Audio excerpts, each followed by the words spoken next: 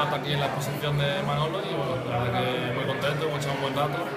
Bueno, al final los dos hemos llegado al acuerdo que queríamos, tanto él en incorporarme al equipo como yo en formar parte de él y bueno, los dos satisfechos.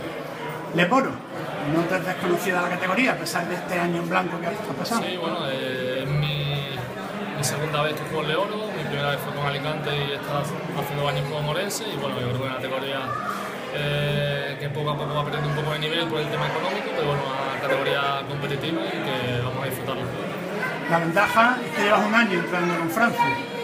Sí, por supuesto, la verdad es que yo creo una de las de mis motivos por seguir jugando baloncesto y, y formar parte de Clínica Rincón sin duda de Francis Tomé. Yo creo que Francis eh, te contagia un entusiasmo y una motivación especial del baloncesto de una forma agresiva, por así decirlo, que, que, transmite a los jugadores y yo creo que eso al final te engancha.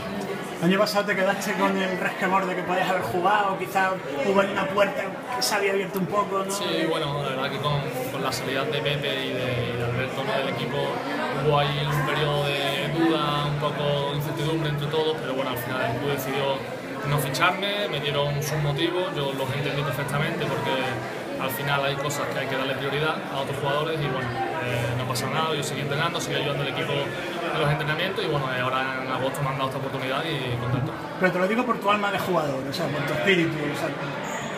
Sí, bueno, a ver, eh, son, fueron muchos meses entrenando, ¿no? con ganas de competir y con ganas de jugar. Al final esa posibilidad estuvo a punto de salir, pero ya te digo, es un club de cantera, habían que jugadores eh, seguir teniendo ese protagonismo que yo quizá a lo mejor podía quitar un poco de protagonismo a ciertos exteriores y se decidió seguir con, lo, con la misma plantilla que estaban jugando. Tú eres joven, pero en esta plantilla vas a ser veterano, no el más veterano, pero sí veterano, ¿no?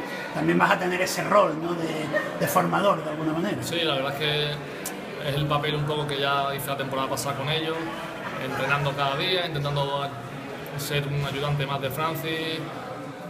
Creas que no, al final llevo mucho tiempo en esto y, y bueno, los, los jóvenes son esponjas.